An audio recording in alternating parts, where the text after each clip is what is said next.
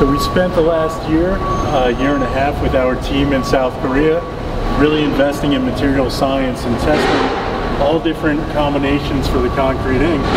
Testing things like speed, saturation, how much moisture to use. You can see the color changes and the differences between the different mixes that we tested out for flowability, for hardening strength, um, compression, shrinkage, how much PSI does it hold.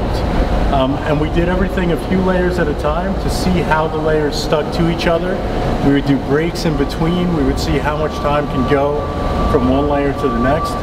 Our main goal here is to make 3D construction printing a viable option for projects in the future.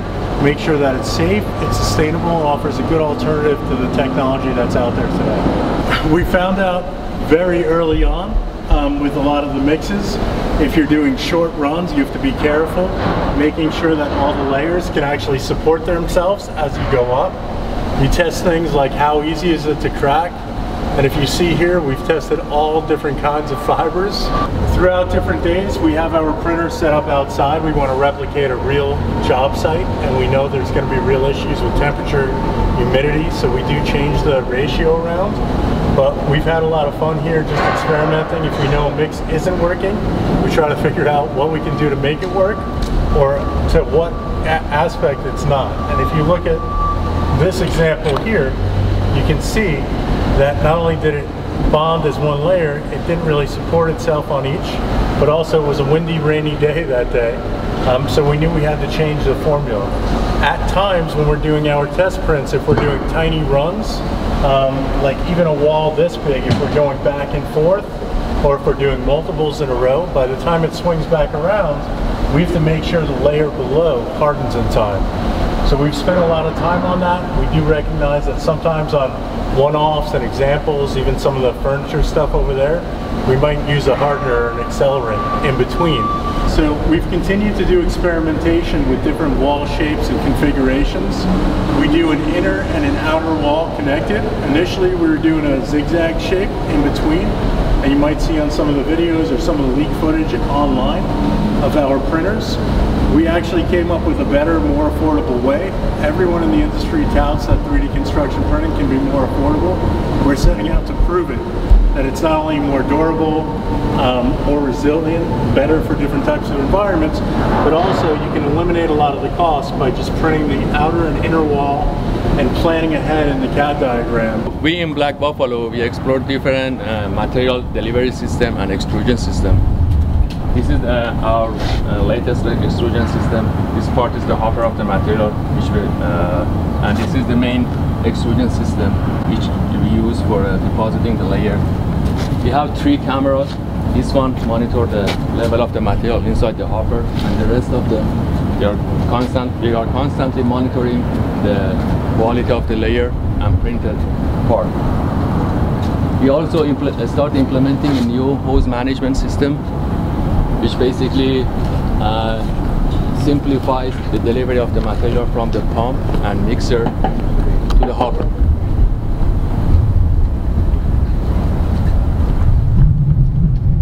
To improve the structural performance of this uh, 3D printed wall, we use this Dura wall which is very common in construction practice and put them every 10 to 12 inch horizontally basically uh, connect two uh, layers of the printed uh, structure together and make a homogeneous structure before we pour the concrete inside. What's the speed? 8, 8, 8, 8. Uh, other companies that they are using like a zigzag printing in the middle. The problem with that one is uh, the main problem is basically wasting a lot of concrete for the connection and it doesn't have that structural performance that we expect. This Dura wall has been uh, used in the construction practice for years and has shown its integration with concrete structure. So we can use that one very more efficiently, way cheaper, and result is going to way more stronger structure. For our 3D printing operations, um, it's uh, it's basically a mortar pump, okay? Uh, and in terms of uh, 3D printing, you know, depending on the materials that we've been developing and things like that, it's it, it can often give the this little pump a difficult time. Uh, a in terms of mixing the material, uh, the in terms of the water injection stage, sometimes material gets caught um, or it gets backed up, and so there's inconsistencies in terms of how it injects the water with the with the dry. When we're operating this pump, what we really have to be cognizant of, we have to be keep monitoring the uh, material uh, and visually inspecting it to make sure that we see the right consistency, consistency that we want. And uh, basically, whenever we see it deviate from that, uh, we got to make adjustments on the fly manually, um, whether it be to uh, kind of jostle up the material inside here to keep it flowing constantly, or if it's adjusting the water flow here to make sure we have the right uh, uh, water um, to dry mix ratio. Um, and then you've got a whole host of other concerns that have are directly related to printing, setting up, cleaning up, um, all these different considerations to keep this machine in uh, basically tip-top working order. Uh, a lot of things you got to consider. Um, there are also times where, in terms of uh, our printing uh, protocol, uh, we have to rest.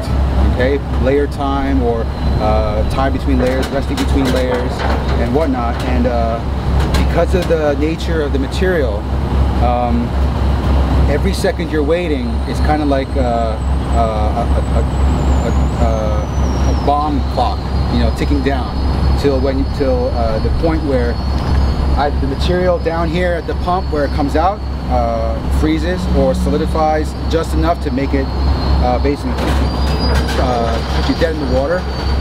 Secondly, anywhere along the hose in the machine, we could get a clog anywhere in there, and for every second we're waiting. So it's a careful, it's a very uh, careful uh, uh, balance that we got to do. It's very like a dance between the guy at the nozzle, the guy at the machine, the the guy or the crew at the pump. Um, so the whole host of uh, things to uh, take, take into consideration. Um, some, I think internally what we like to say is that the pump really is the heart of the whole 3D uh, printing system. This this keeps the, the blood flowing essentially, yeah, so to speak, um, and any you know, blockages or stoppages, they all start from here. So the material starts here, whatever, whatever you get out here is whatever you get out over here on the print pad. So.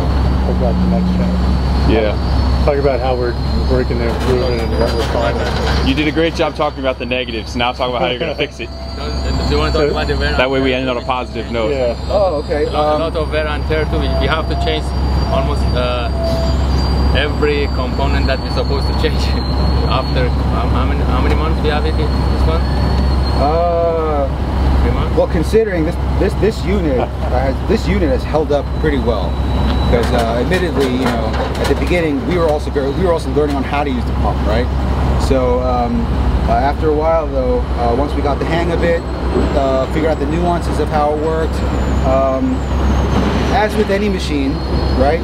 whether it's whether it's your car or an elevator system or whatever, there uh, there's a way it's designed and there's a, uh, how it's intended to be used, right? A schedule of maintenance, schedule of use. Um, you know, you, you, wouldn't you wouldn't drive your car for 24 hours a day, seven days a week.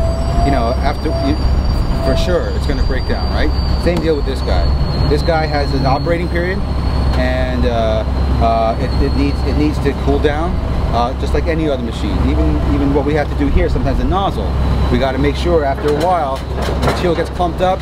Same way it gets clumped up here we got to break wipe it out start fresh make sure we make sure we've got optimal operating conditions. Same thing with it, with this pump or any other pump for that matter any other machine. So, can you talk about the, uh, the so you'll use a different pump in the future can you talk about some of the differences of the different pump and how sure. that'll improve your prints? Yeah, yeah. One thing we found about this pump is that uh, the, uh, first of all, the, the water injection stage, um, we would like it for it to be not just shooting water at the material, but maybe have something like uh, a better system where the water uh, uh, does an initial kind of mix on its own flowing power with the material first. That way when it enters the mixing, uh, the actual mixing stage, it's not a wet, dry, wet, dry. It's more of a, it's more of a homogeneous mix first, initial mix, and then down here it gets churned more. Secondly, with this machine, uh, we'd also like for the mixing station itself to also be longer or the material to spend a little more time in there. Um, we have learned, however, though, that this uh, this this uh, um, this pump has a lot of different options, right? A lot of different attachments we could do. And we actually today tried a, a, a new one that we just got, which is um, uh, a better what, what we the, this uh, mixing paddle that we got here is a is a is a better implementation of something we just rigged up in house. We had an earlier version or a simpler a simpler paddle version with only one fan or paddle. Sure. We welded on another one. Whereas this one's got uh, a beefier one, it's got two, it's got uh, a couple other features that I think today definitely helped in making the mix be more consistent here and as it came out the hose. Um, now in terms of the future, Yeah. uh, what we'd like to do is, um, this is the only pump we've worked with so far. We've researched other pumps and you know for various considerations or whatnot we chose this one. It had the, at the time, uh, the best uh, kind of um, combination of, of cost, uh, features, um, and specs. So uh, it seemed like it, this would work uh, pretty well. Um, and uh, as we continued to do our research, we found other other pumping options. One of the things we, we looked into also in, uh, in our pump research was, should we separate uh, the mixing station and the pumping station? There's a pumping station down here. One of the things we really liked about this unit was that it was together. It was one unit, we only had to buy one machine, it did the mixing and the pumping. But as anyone can tell you, uh, the more features you add on to a machine or a system, uh, typically uh, the performance of each separate function kind of uh, uh, suffers a little bit, right? Yeah, a lot of people say you want, if you want to do something good, you do one thing, you do one thing really well, right? Once you start adding onto that stuff, can kind of get uh, deteriorating performance in all areas. So um, one of the things we were looking at in the beginning was, uh, should we separate the mixer from the pumping station, have a separate machine, and just uh, do a systems integration kind of thing. Um, for various considerations like cost, now you got to get two machines and you got to do uh, uh, develop the, uh, the integrator. Um, so uh, what we just, the road we decided to go down for now is to try to see what um, single unit systems that are out there. And another one we found, which we were able to, uh, we were lucky enough to get a loaner on um, and test out, had a lot of the things, the things that we were looking for. A longer mixing station, even a longer injecting station. Uh, the injection system itself was very different from this one. Uh, it gave it gave the material an opportunity to, to kind of churn with the water a little bit before it got into the actual mixing station. So um, it also had a bit of a bit of a beefier motor to uh, to pump because in terms of our machine, you know, one of the things that we're trying to uh, accomplish was to to uh, print two stories or higher. Now, as you go higher, you're gonna have to send the material higher, so naturally you're gonna need a stronger pump. Um, so this this little guy's been taxed a bit as we ra- raise the, uh, ho- our hosing higher and higher and higher. Uh, we believe that other pump uh, may have a little bit more oomph to it to be able to go that distance and really get the material out to where we need it. Every day, every single time we use this, uh, we learn something brand new. Um, and it's really because it's the nature of this type of technology. It's never been done before. Uh, the material science, as any cement specialist will tell you, nobody really knows exactly how cement works. It's been in use for thousands, uh, at least a thousand years, um, and uh, I, I believe in, within the past 50 to 100 years or so, scientists have, have only begun to start learning really what it is that makes cement uh, uh, act the way it does, do the way it does, come out the way it does. And there's a lot of tweaking we can do. So uh, just as with the material, it's a lot of trial and error. Uh, processing the material is a lot of trial and error. Uh, so there's a lot of uh, interaction that's required- required between the material scientists, the mechanical engineers, the designers, the machine designers, to really get the right combination of uh, machine technology and uh, material technology. So, um, in, I mean, in terms of just the uh, the mixing, the pumping station for in terms of the development that we're doing, again, it's a lot of trial and error. Uh, obviously, of course, you want to do as much as much theory and put it down on paper as possible. Uh, but as with anything, um, real life doesn't always follow what, what you uh, put on paper, what you try to plan, right?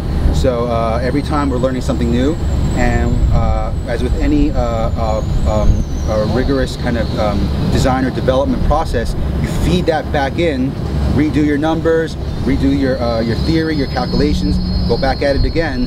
Uh, but each time, the hope is it's, you're tweaking something different.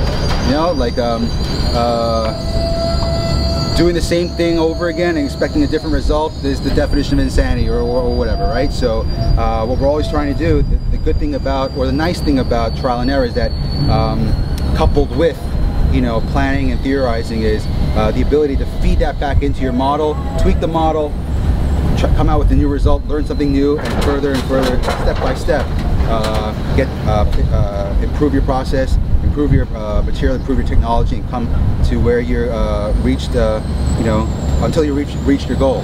So, just as a quick example, one of the things we actually, I think we learned um, just today, really, was that this guy, one of the features that's lacking is that we don't have a vibrator on this thing. So what tends to happen is that up front, the dry material gets clumped up and it creates an air pocket. So um, through, like I said, through trial and error, we we, we uh, discovered that oh, okay, that was that's what that, that, that's what was causing some of the uh, discrepancy in terms of the water to dry material here. It was getting watery, so um, tweaks we learned in our process. We agitate it here anytime we see that, and then um, uh, that's proved to be that's proved to uh, provide much better uh, uh, uh, control over the material that we're able to kind of send to the hopper. We're in a really exciting position because we've just finalized the design of the next generation for this guy, the one that's actually going to be commercialized and is going to be sent out into the world. Um, that's got a lot of improvements, again, from the trial and error we've done, the development we've done. We've fed it back into the design loop uh, and made those uh, uh, corresponding adjustments and improvements to the next design. Um, and it's not just about the design of the machine itself, it's the design of the interaction between each of the different subsystems. So really it's a lot of, uh, it's heavy uh, systems integration uh, design and stuff like that. I mean today, despite the challenges with the weather, it's an extremely hot day today. You've got both personnel fatigue, you've got motors overheating, you've got the heat to worry about in the hose, with the material possibly uh, setting too fast or whatever. We had a successful print today because of all the lessons we've learned that uh, allowed us to make these adjustments and all the knowledge, the knowledge base that we've uh, uh, uh, created. We've got a long way to go, but come a really long way since where we since where we were. So we were really lucky to find this facility when we were looking for space near our New York City headquarters. Um, we're located very close to the port of Newark. We have our uh, sister company, ISIS Corporation, that's part of the HN family of companies based in South Korea. Um, and this space was just amazing. We know that we're going to be shifting production from South Korea to the United States as we scale and we continue to produce printers and sell them to contractors, development uh, companies and governments throughout the world. So we wanted to make sure we had tons of space not only for our printers, our factory uh, manufacturing, but also historically we wanted to take a building that wasn't being used and create new opportunities in the area. So we've been hiring and scaling up um, you know, factory workers, engineers. Uh, we hope that by the time you see our video again, we're going to have a 3D printed or a modular build of our sister company as our offices here. But we worked hard as a team when we were just startup phase a year ago in the United States, just getting started in this country.